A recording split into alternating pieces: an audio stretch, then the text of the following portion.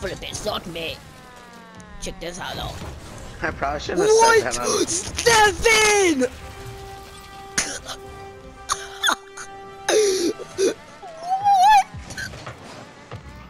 You put me into a double tap. That's play of the week right there. That's play of the week. I ended stream just so I could clip that.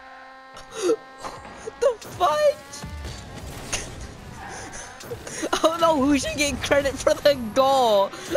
I think I should. I think you should too. I was honestly not even looking at my screen. Next thing you know, I'm pumped off the wall. It just hit the nuttiest shot without doing anything. oh my Uh,